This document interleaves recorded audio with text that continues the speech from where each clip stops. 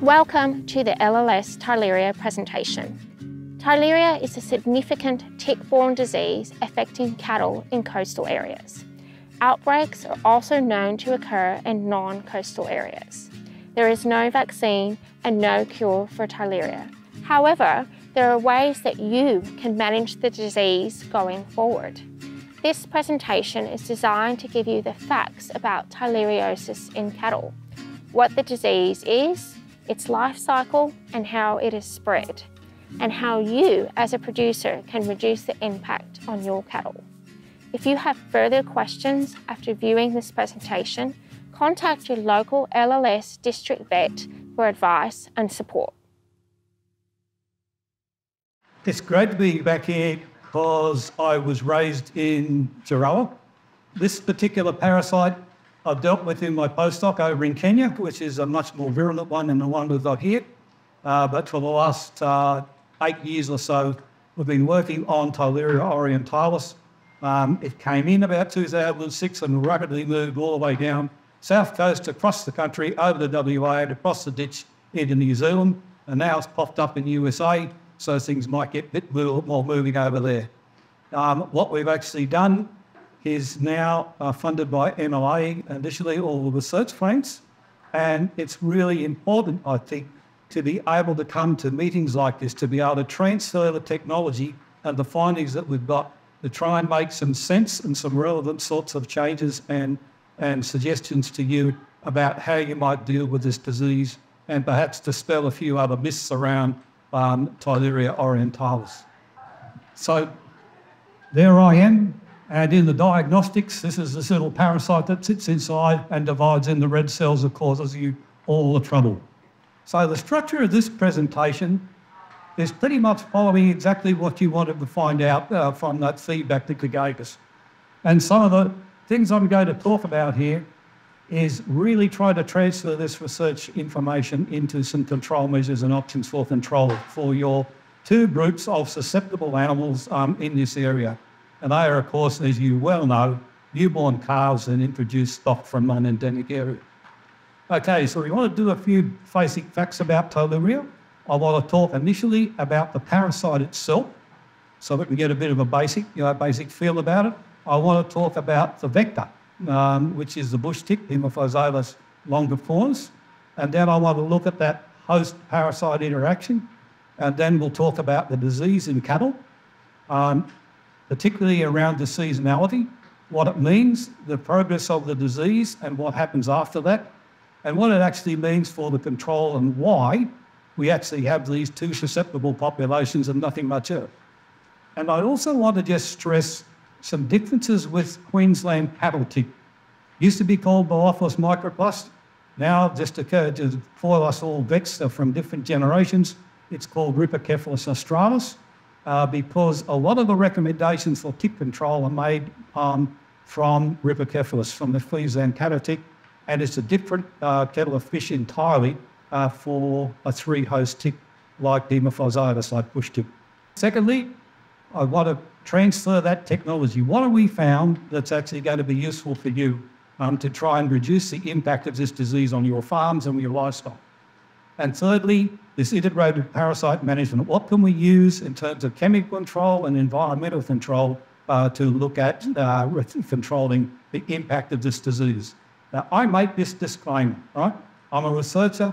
I don't have all the answers yet, uh, but I'd also like to hear uh, from your questions, we may be able to eke out some more knowledge, and I'll then sort of point out the way the research might go from here. But most of the research is particularly around the control of disease in newborn calves.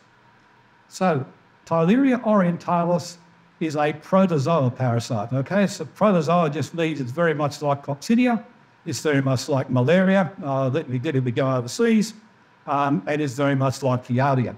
But those guys, Giardia and Coccidia, are gut, are gut protozoa. This one is a blood, right? A, a blood protozoan like Babesia, so tick, tick fevers in Queensland, and it lives in blood cells. The Babesia lives in only the red cells, but Theileria, uh, the definition is it lives in both white cells and red cells. This one orientalis has got 11 genotypes, um, and that's for the molecular bods that have found that out. But the two major ones that we're concerned with are things called Chitose variant and, um, and Ikeda. Okay, so these variants are pretty much like these COVID variants we all hear about that we try to get immunised against. And then the third one is buffalo. Buffalo is the one that's sort of been in Queensland for about 150 years. And the reason it hasn't been causing a problem is it's pretty benign, and we'll see why. These are the virulent guys that came here in 2006. These are the two of the virulent ones, and we'll see why they're virulent and why they're the problem. Okay, and then there's types 4 and 8 and N1, but these three ones are the major ones. And type 5, we have an assay called a, a polymerase chain reaction, the same one they use to diagnose your COVID. Right, it's a PCR assay, and those four genotypes are actually in the assay that we can detect. I think we spent over $70,000 on assays um, during the course of this research. Right. The other thing, the reason why buffalo is pretty much benign in Queensland, Queensland and doesn't actually occur too much down here is because the bush tick doesn't really vector um, Theileria orientalis buffalo very well at all. But it does very well for these two up here. Okay, so a little bit about the life cycle. This is a tick protozoa and cattle interaction.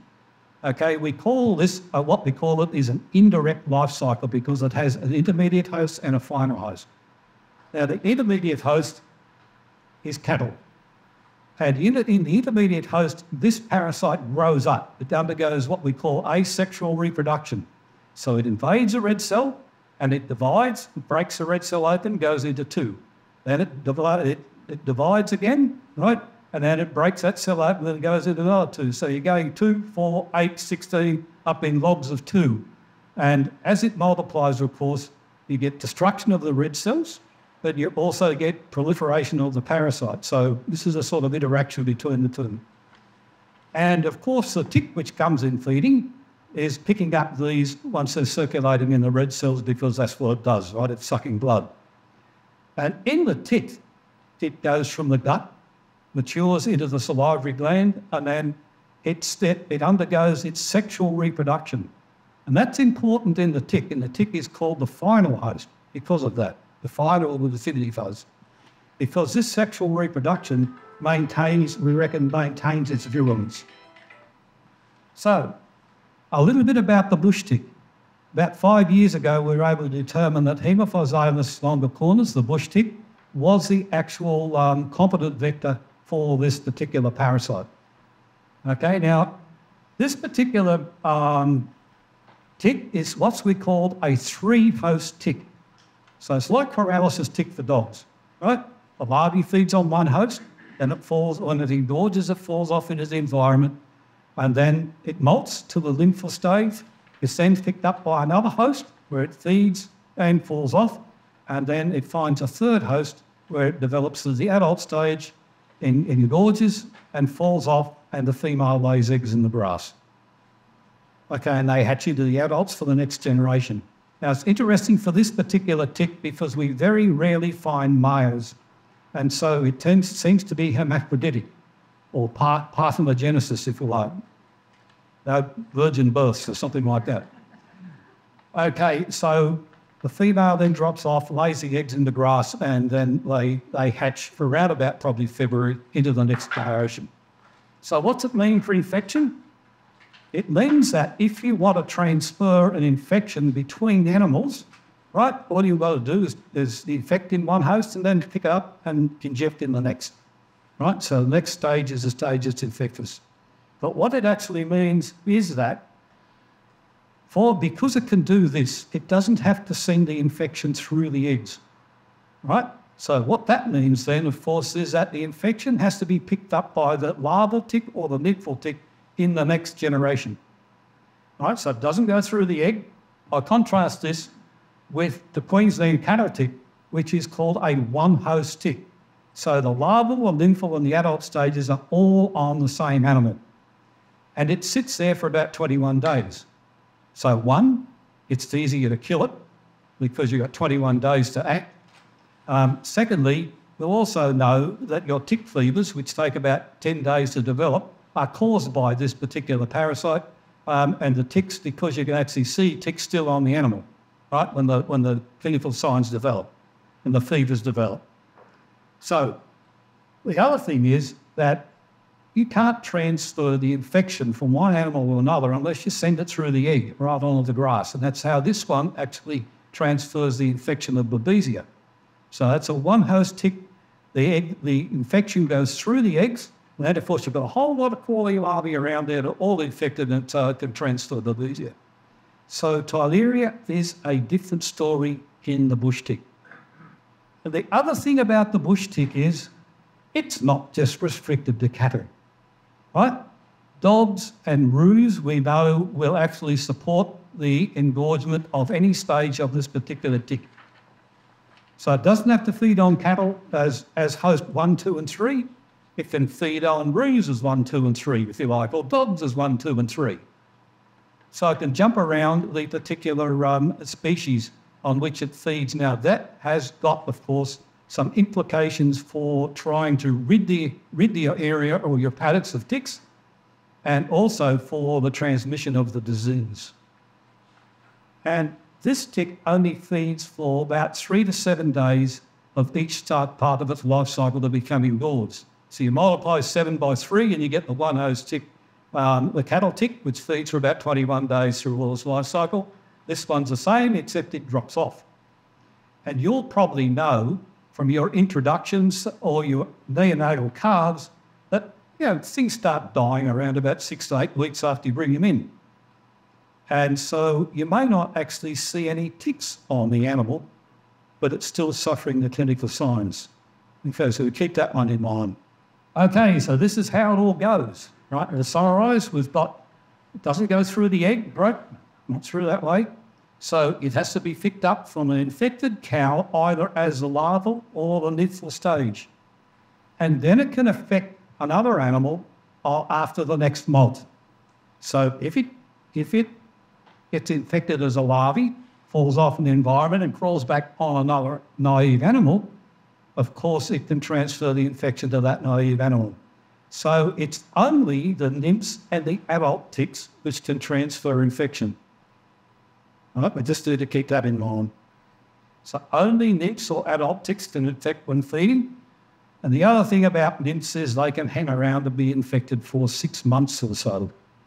But this creates some of the problem to try to clear pastures on them.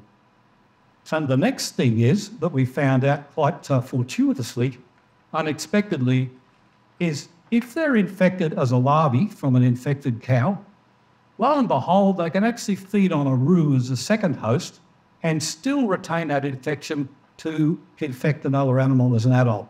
So it can actually carry the infection of Theileria through a molt. We didn't expect that, but that's another thing that this particular tick can do. So, and this particular parasite. So we need to be thinking about that in terms of our options for control. Okay, the other thing is that Theileria needs a couple of days, right, to sort of mature the sporozoites once it starts feeding before it really starts to in- inject them into the animal. Um, and so that's very much like paralysis tick where it takes about two or three days for the adult female tick to gear up the genes and the production of the toxin that causes the paralysis. So, if your treatments can cure ticks in 24 to 48 hours, then your infection will be greatly reduced. And we'll see what that actually means in terms of the parasite load that gets into an animal. Oh, a number of examples that we've got. So, what's it all mean? Number one, the life cycle of the host parasite interaction determines the seasonality of the infection. Right, so usually we have down here in a seasonal um, infection of, uh, of uh, three host ticks or just single host ticks. We've got, we've got a larval stage. Uh, the eggs hatch around about February. The larval stages are crawling around about March. Um, the nymphal stages are the ones that overwinter, and the adult ticks are around in the springtime. On the whole, what happens around the springtime? Of course, you've got your calves, um, which are actually um, being, being dropped. And so, as I said, the nympha stages and the adult stages are the ones that can infect. So you've actually got a population of ticks which are infected, which can transfer that infection. So the other thing, of course, is in endemic zones, you have ticks all round. This is a really special place up and down the coast of New South Wales into Victoria where ticks can survive all year round and it actually mixes up this life cycle of it. So you've got all, all sorts of stages around the whole year round. So just appreciate the fact that they are there because you may think that once you got through the spring and everything calms down, you haven't got any more cases, there's no ticks about, right?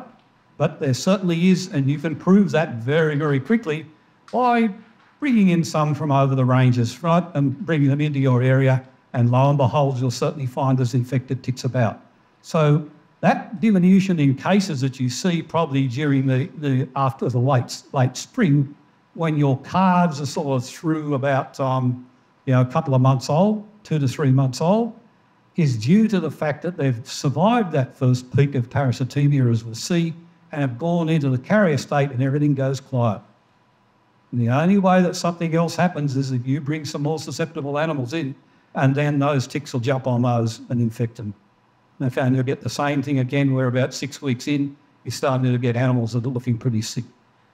You're probably lucky in some stages because Orientalis only kills about mortality is about up to about 30% of animals that get infected, whereas the one I work with in Kenya, it kills about 80 to 90% of cattle. Um, so, resident cattle go into a carrier state. The other thing about this, in terms of what's it all mean, the nymphs overwinter. And as I said, they remain infected for about six months. Uh, we've held them in the, in the fridge um, for six months and they're still fully infected at the end of it. Um, and so they stayed infected for that period, and so they're really hard to try and kill off um, with pasture spelling. They're much more difficult to kill off than worms are, for example. And as I said, bush ticks can actually carry an infection through the nymphal stage if they feed on a kangaroo um, and then transfer it to a cow as the adult parasite. And the other thing to remember in terms of pasture spelling is your beautifully cattle-free paddocks that you think might be getting rid of, um, of the ticks may be completely infested by these living roos coming out of the bush and sort of dropping ticks all over again.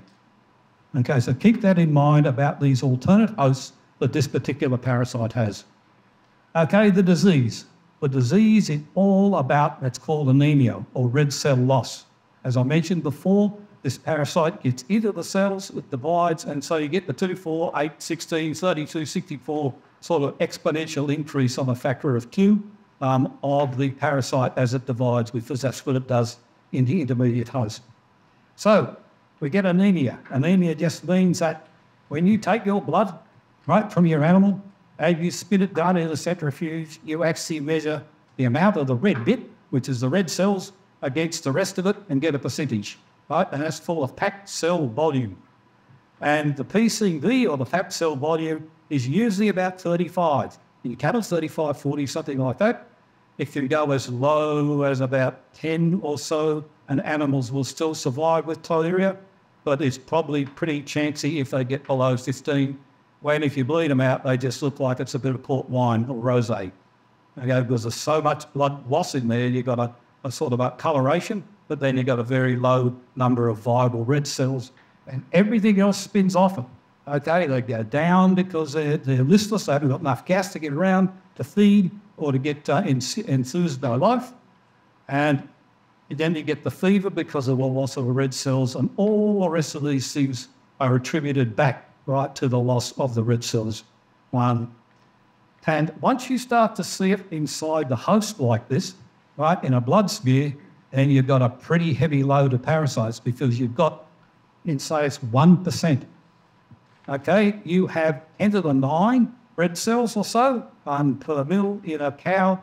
If you can see one in this and you say it's okay, it's one in 100, then you've got over 10 to the 7, right? With 10, 10 million or so parasites spinning around inside. And that sort of percentage is measured as what's called a parasitemia, right? Parasites in the blood and as a percentage. Okay, you've all seen these, those of you who've had the unfortunate uh, problems of dealing with them, right? It's all about the loss of red cells, so everything goes yellow or white. Mucous membranes that should be a beautiful pink have gone um, this colour, the eye colour. The animal goes down, the calves get aborted, um, and the whole thing falls apart, and some of the animals may die. And there's no treatment around yet. It's really tender loving care to try and nurse them through this. Okay, a little bit more about disease transmission. And the make home message here is that as soon as animals' calves are dropped, or as soon as you bring the, in, in, the introductions in, the ticks jump on them and the infection starts from day zero day of arrival, day of birth, day of dropping. Okay, um, we have a, oh, an august student in the audience here who did this work at Dorrigo. Um, and we can see here that when we actually sampled animals, right, around about um, from five weeks of age uh, over a sort of a calving period of, of um, eight weeks, right, we found for Ikeda, the virulent one, by five weeks of age, it already reached quite a high parasitemia, as we'll see, is quite clinically relevant. So they had to be infected uh, from day zero to get to this sort of level. Okay, if we look at that, then it slowly declines with time onto past that sort of peak that we see around about six to eight weeks. We'll see a little bit more about that in a moment. Okay, but if we look at the old benign buffalo, the first thing to notice with this is, of course, that, okay, the axes are different, right? The parasitosis with buffalo is about six to seven times lower than Ikeda gets to. And once this actually comes down around the carrier state here, it's about the same level of parasites as you get with the, with the non-virulent one, the buffalo. So it's a lot slower and it doesn't reach the same level of parasitemia, which gives you an idea of the difference between the virulent genotypes and, and the benign ones. Okay, this is basically how you see it. This is basically what's going on on your farm and in your animals um, after you do your introductions or you drop your cards. So, either one, we get the infection starting from day zero. We generally get the highest peaks of parasitemia around about six to eight weeks at which the deaths start to appear. Virtually set your watch by it, unfortunately. Okay, just depending on the season, Uh, because it depends on the level of tick challenge, and we'll get to that in a moment. What happens after that is that the level of parasitemia goes right down, and this establishes what we call the carrier state. The animals remain carriers for at least 30 months. We've tracked them down at Bairnsdale for 30 months of age, and then you get a bit sick of tracking them, but they're likely carriers for life. And this is the reason that they don't get reinfected each season because it's carrier state. Somehow we don't know yet, right? We don't know everything. We don't know how this actually operates, but it seems to prevent the development of clinical disease with the, re, with the seasonal challenge with the ticks. So once they reach this carrier state, okay, they're pretty much protected. And I would say that from our studies that virtually all your cattle in your endemic zone that aren't showing clinical signs are actually carrier, which is why you see the, the conditions occur and the, the, the carnage occurring in the calves because they're naive and the introductions from areas which don't have Theileria. So, as you see it, we need to get them through this first peak of parasitemia. We need to try and reduce that down. Okay, that's the major point where all the carnage occurs and then it sort of settles down. So as I said, that carrier state seems to be able to protect them somehow um, against um, seasonal rechallenge with the tick. So they calve okay, they live on their farm okay. However, if you stick them in a truck and transport them for about seven hours or so, you can cause some recrudescence or what I call breakdown of that sort of um, carrier state and cause disease again. So you put them under severe stress, um, you can actually reignite the disease. But it needs to be you know, something like around about seven hours or so, uh, because animals broke down when they moved from Bega to, um, to uh, and also from the coast up to Terry a number of years ago. And then, of course, that, that particular outbreak dies down because there's no bush ticks over there to complete the life cycle of the parasite, so it dies out it needs both those bits. It needs the cow, it needs the, um, um, the uh, parasite and the vector uh, to maintain the disease. We would got all three, of course, on the coast, unfortunately. Right, so we get them through that first six to six to nine week period. You'll notice here too that i have also mapped the post the cell volume. You can see it goes down to around about 20 um, in these ones. We didn't lose any at that particular um, stage either. Right, so just to summarise this particular transmission and the life cycle. Right, we've got infection from ticks, starts on day one, but of course, tick infestation is going on all the way through. It's only feeding for five to seven days, and another lot come on, another lot, another lot as far as the, um, the twain shall meet. Right? We get clinical signs and death around this peak of parasitemia, and then the carrier state is established with recovery, and then they're protected after that. Okay, so that's your sort of that's your sort of life cycle with this parasite. Okay, once the carrier state is established, right, with recovery, everything's okay. They're protected against seasonal challenge unless you really, really stress them. Okay, a couple of more things on that. There is no colostral immunity, right? There's very little evidence that this particular parasite is transmitted to the fetus um, in the pregnant animal and there is no evidence whatsoever that there is any antibody mediated immunity in colostrum. And in fact, colostrum may actually transfer the infection, which could be a good thing, as I'll mention a little bit later. So you've got two fully susceptible populations within your farm, and of course you know those anyway. I'm not telling you anything. You've got calves newborn, and you've got introductions from over the ranges or somewhere else where the parasite um, is not endemic. Okay, so in terms of options, I just want to sort of introduce another particular concept that everything is life is a biological sigmoid curve, right? The more you drink, the drunker you get, the more cigarettes you smoke, the more cancer you get, the more ticks you put on, the more clinical disease you're going to get, right? So that's just the way it goes.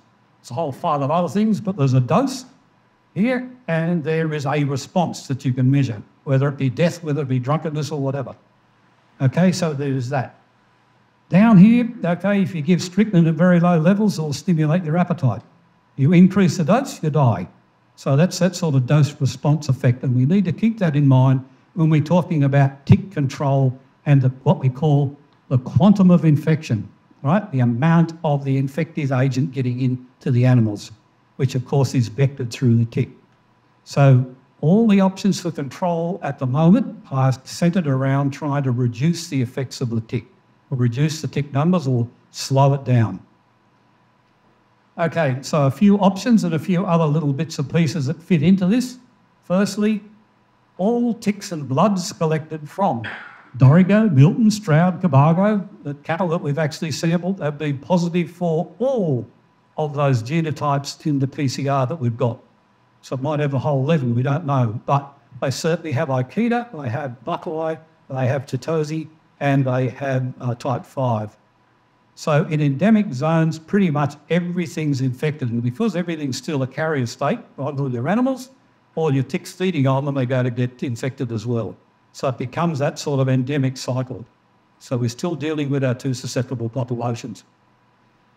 We know that between 6 and 50 um, infected bush ticks will actually induce uh, uh, PCR positivity, which is pretty, pretty sensitive, but it may not cause clinical disease. But we know that only a few numbers of ticks will actually cause an infection of an animal that we can detect. There'll need to be probably a lot more ticks on there and a rotating tick infestation to be able to get it to clinical signs, and that depends on the season. But we know that that sort of number can actually cause disease. So this will rely on how much Theileria actually gets injected over the period before they reach that um, maximum parasitemia at six weeks. Okay, to get the high levels. There is no vaccine, and it probably won't be made because it's not commercially viable. There is not a big enough market for it. The other thing is that buparvaquone, BPQ, which we used over in Africa to treat um, uh, uh, over there, is not registered for use in Australia. New Zealand uses it and has a nine month withdrawal period. So, what we're trying to do is we are trying to slow down the infection by reducing tick challenge. Right? So the parasite levels rise slowly and they don't get as high as they do if you get a big hit all at once. Right? So that's that quantum of infection bit about that dose response to them I talked about. So what happens? The parasite level, the peak parasite level is lower, which gives the animal more of a chance and doesn't get um, as sick, um, and you get less production loss. And because it's dragged out, it gives the animal longer time to gain immunity. And immunity is not antibody, it tends to be what we call cell mediated immunity. If you want to, you want to knock off a virus or a parasite that lives in a cell, you need another cell to sort of kill it, recognise it, and kill it. Right, so that's called cell mediated immunity where it actually kills it. So the other thing is, if you want to gain immunity and maintain the red cell numbers, good nutrition certainly helps. And good nutrition can actually allow for the compensatory gain to cover any production loss caused during the initial onslaught. Okay, so good nutrition. We certainly found that at Dorrigo, where we brought animals up in autumn, right, and they got sick. And then, of course, all the grass freezes over up in Dorrigo, and you can't get much to eat. And so they have a greater production loss than if they are introduced uh, in, in spring, where they went through the same episode, but because they had good pasture up there, it always rains in Dorrigo, um, then they're able to regain that weight loss from compensatory gain. Once they get that, of course, as a couple of, uh, of studies have shown, you don't get any sort of uh, detriment to production if you're a carrier. Right? That's been shown in dairy cattle in, in Victoria and in beef cattle in New Zealand, right? So once you're a carrier, you're still able to reduce quite effectively and you're also protected from the parasite. So there's not a, not a, doesn't seem to be a discernible um, production check to be a carrier. So that's another reason for it, uh, it being a sort of an ideal state in an endemic zone. Mind you, it certainly supports the parasite as well because the ticks can still pick up the infection and maintain the whole thing. So what you think it's basically uh, uh, utopia for the uh, for the parasite is to have this sort of a situation, but it also sort of benefits the animals that are in the endemic zone. As I said, once the animal reaches that carrier state, it's pretty much protected from seasonal challenge with the with the tick, the parasite. The compensatory gain can be regained um, from compensatory gain once the animal is well fed. And so, what do we know that can actually now start to look at reducing these the tick onslaught? So, this is important. Tick challenge is lower and slower in cooler months.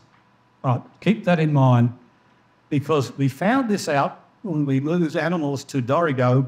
Um, and under normal circumstances, when we move them there, they'd all become positive around about four weeks. They'd reach their peak of parasitemia around about six to eight weeks. And if they survived, then they went into the carrier state. That is the normal sort of seasonal um, dynamics of the infection that we see. Okay, the maximum parasite levels reached about uh, 1 to 200 million per microlitre. Um, and there's where the deaths occur, about 300. So we didn't quite reach that particular target, thank goodness, because I was doing the experiment on an industry farm, an actual producing farm, so I didn't want any deaths anyway. Okay, we had no deaths, but we did have that, um, that production loss, which when we moved them in September, we could regain. But if we moved them um, and they over, had to overwinter with limited nutrition, then they didn't actually regain that right through to sale. Okay, what happened last year? It was a really cold winter. It was a pretty cold spring. We didn't really get to any, any summer, spring weather until November. And what happened to my experiment up there is it just it, it went berserk. But I was able to take um, some information from it. Because what happened was when the maximum temps in that year were two to three degrees lower um, than normal, and maximum temps are the ones that are that are good for ticks because that determines how much they can move. Okay, the tick infection was much slower. Instead of all cattle being infected by four weeks with a maximum parasitemia at six weeks, lo and behold, they weren't all infected for 12 weeks because the ticks were just slow.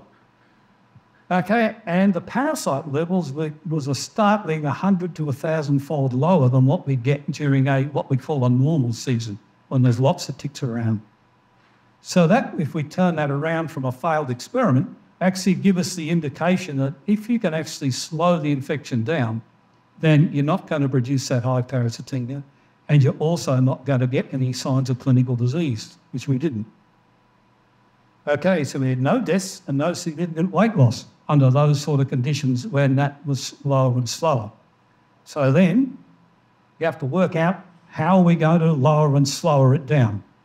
And the other work that we did um, down at Mutiny was to trial something for calves, because calves are the problem. You can sort of choose and, and move things about um, in terms of introductions, but it's much harder to do with your calves. And I'll explain that a little bit later why. And she had some very tractable um, uh, Angus down there that didn't charge you when you approached the calf. And she was able to slip in these python ear tags um, into the ears on the, on day or two after birth, right? Keeping in mind that ticks are jumping on as soon as the calf hits the ground. Okay, so around about um, five weeks or so, there's quite a significant decline um, in the parasite, uh, level of parasites in the blood in those animals. Mind you, the controls were only about seven bulls that they wanted to get rid of. Um, otherwise, it's very difficult to justify only treating half the animals in the group. Okay, a little bit different around about eight weeks, and she could get to the um, to the animals, to the calves, to give them what's called uh, Dectomax and the Doramectin, um, and the injection uh, has a longer residual time than the pour on. So in, in um, a one-host tick in Boophilus uh, or Rhipicephalus in Brazil uh, as well, it will kill larvae that attach for up to 28 days. So we'll keep killing them for a month. So it's got a what we call a persistence period of around about a month if you give the injection. Now, mind you, I have to have a disclaimer here. These are both what's called off-label, right? That means that you are not following the label that's, uh, that it is, uh, that's provided by the manufacturer, which means that if something goes wrong with something and you're following the label, the manufacturer has to deal with that, right? You get compensated. You use stuff off label, you're responsible, okay? So you just take your chances. So these, both these are off label. The only reason for Dectomax, of course, is that it's registered for killing cattle tick Queensland cattle tick, but it's not registered for bush tick. That's the only difference, right? And the good thing about this stuff is you can actually use it on weak old calves. But of course, then you've got the problem of trying to muster them, right? Particularly you booth guys, um, and and Miss Mulberry and all the other sort of razzmatazz that goes with it during a calving season. So, you know, the recommendation is try and get in as soon as you can and slotted in at seven weeks. But of course, if you remember that trans- transmission of the disease, right, the peak of the parasitemia is around about six to eight weeks. So this is getting too late. This is a this is the problem of this timing um, for this particular parasite in cards. Okay, um, a ParaBoss presentation by Matt last year listed a number of, um, of actives which you can utilise some of which are actually recommended for bush tick, or there's some evidence. Um, there's been a number of handouts prepared which are probably far more informative for you here. Um, and they also mention for the, not the Python tags, but certainly for the Dectomax, that it's off-label if you do decide to use it. Okay, so there's a number of products out there which you can utilise. Okay, so let's look at now a sort of integrated approach to reducing parasite numbers on pasture. Right? Our pasture spelling is not as easy as Queensland because this is lovely tick country. As well, you know, winters are fine, no frosts, etc. And so the ticks survive, and those nymphs are very, very hardy and resilient. And of course, there are plenty of other sort of hosts other than cattle um, for this particular tick. So just removing the cattle from your pasture doesn't ensure you that you're getting rid of the ticks as well if you've got roos hopping over the fence and coming in to sample your pasture. Okay, but unless it's cleaned in autumn, right, when there's still a bit of heat around, or you might be able to graze it down before the rains and before sowing any winter pasture, maybe your oats or, or um, if you're sod seeding or something like that, winter spelling won't remove infected nymphs, right? They'll survive there quite happily. Summer spelling, It's very much like smart grazing for sheep worms. Okay, you may actually treat cattle uh, with a with a tickercide uh, three days before putting them in and graze all the pasture down to expose anything that's left there, and then remove them um, when they've grazed it right down towards the end of the, um, the end of summer. Before you your theoretical autumn break with the rain and pasture. I know this sounds all great in practice, but it's in theory but I know and understand it is really difficult to do grazing management on farm um, during the changes and the variabilities in the season. Okay, but if you've got roos about popping over your back fence every night and, and spreading around, you're likely to have your pastures still infected no matter what sort of spelling you're doing and, um, and if you've got the ruse removed. I don't know about wombats or possums as to whether they actually act as um, alternative hosts for um, bush tick, but certainly I know that kangaroo sting. Okay, a few more things about carving times, sites, timing of introductions, etc. Okay, so we talked about the fact that's lower and slower in, in the cooler months, right? The ticks are slowed down. So try to carve away from the bush. They tried this at Dorrigo, away from the bush, because there's no doubt that your beef cows will secrete the calf away in the bush there and I spent many a time along Clifford River in Gerringong there, sort of getting down in the tussocks and sort of blaring my head off, trying to get the cow to show me exactly where she'd put the calf. So try and carve them away from the bush or rue-infested paddocks. Okay, try and spell those and keep them, keep them away from immediate tick infestation. They tried this at Dorrigo, carve earlier in the season, try to go for July, when the ticks might be even less sort of active, right? rather than having a um, uh, having them in perhaps August, September when they're starting to warm up again. Uh, that's going to depend on BOM and landline sort of predicting what it's going to do um, in the next three months or so. Introduce cattle from non-Theileria regions in the cooler months. Right? Please try and stay away from, uh, from trucking in pregnant cows, particularly in the second half um, of gestation, uh, because of the stress of the, of the travel but also, you know, they're going to, if you're going to bring them in for calving in spring, and they're going to be sort of right bang slap in the, in the uh, they've been calved already, and they're going to get Theileria from the first day that they arrive. And you're putting the stress on them um, as they get trucked in. Well, try and get them pregnant a little bit earlier if you really want to adjust um, and get them calving down. Um, bring them in perhaps May, May, June, or perhaps not at all. There's get your get your bulls from over in the in the um, uh, the non-endemic areas and bring them in and do the job on on the, in the endemic areas. Okay, you may try and keep them in a house paddock or something that you've actually spelled. Now here I'm thinking of you know really expensive bulls. Right, if you want to introduce some genetic diversity into your selection index, then you might want to uh, bring those in and try and keep them protected from it. Now, that's just the environmental bit of it, okay? I said, uh, don't, please try and avoid bringing them in in the second half of pregnancy because that's the, that's the danger zone. Okay, hosts and tick numbers. Right, tick treatments. Okay, we've got tables and you've got handouts for those. And I won't add anything more on that, except to say we really need some more research into the effects of some of the treatments on neonatal calves. Okay, that's something I did retire in June uh, from my uni job. Um, so it's sort of, that's one of those legacy and bits and pieces I never get to finish. And so I'm looking to the young and dynamic uh, to continue that on to provide you with that sort of information. Okay, try and treat them with some of those acaricides either before you truck them or certainly on arrival, keeping in mind that the ticks are jumping on as soon as they get there.